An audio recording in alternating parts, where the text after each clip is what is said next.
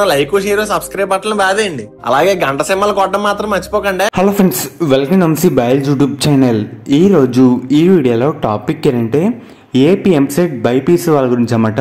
ముందుగా BSc agriculture వాళ్ళకి ఒక అప్డేట్ అయితే రావడం జరిగింది. అండ్ దాంతోపాటు బీఫార్మసీ మరియు ఫార్మడీకి ఎప్పుడు కౌన్సిలింగ్ అనేది ఉంటుంది. చాలా మంది అయితే అడుగుతున్నారన్నమాట. మీకు ఈ వీడియో చెప్తాను.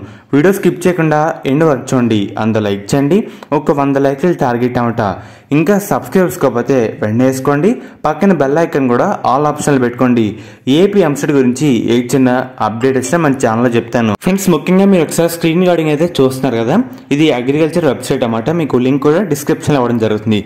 ఒకసారి మీరు ఓపెన్ చేశాక సో మనకి ఎవరైతే ఎంసెట్కి ఎలిజిబుల్ అయిన వాళ్ళు ఉంటారో వాళ్ళు వచ్చేసరికి ఈ month August thirty morning ten AM నుంచి మనమైతే అప్లై చేసుకోవచ్చు అన్నమాట అండ్ దాంతోపాటు ఫార్మర్ కోట మరియు దీని గురించి కూడా ఒక చిన్న నోటీస్ ఇచ్చారు.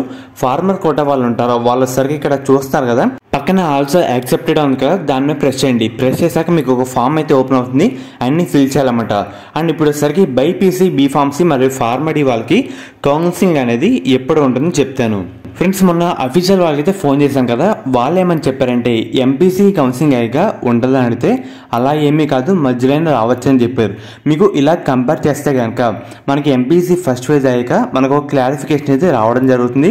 లేదంటే టోటల్ ఎంపీసీ కౌన్సిలింగ్ అయితే కంప్లీట్ అయితే అయిపోవాలి. మాక్సిమం ఎక్స్పెక్టెడ్గా మనకైతే అక్టోబర్లో ఉండే ఛాన్స్ అని చాలా అంటే చాలా ఎక్కువగా ఉన్నాయి. సో ఇది ఈ రోజు అప్డేట్ అనమాట మాక్సిమం ఎంపీసీ కౌన్సిలింగ్ అయ్యాక మనకు వచ్చే ఛాన్సెస్ ఎక్కువ ఉన్నాయి. దీని గురించి ఎటువంటి చిన్న అప్డేట్ వస్తే మళ్ళీ మీకు అప్డేట్ చేయడం జరుగుతుంది. సబ్స్క్రైబ్ చేసుకోండి. పక్కన బెల్ ఐకాన్ కూడా ఆల్ ఆప్షన్లు పెట్టుకోండి. అండ్ మీకు ఏమైనా డౌట్స్ ఉంటే కనుక కామెంట్ చేయండి. మీకైతే రిప్లై అవ్వడం జరుగుతుంది.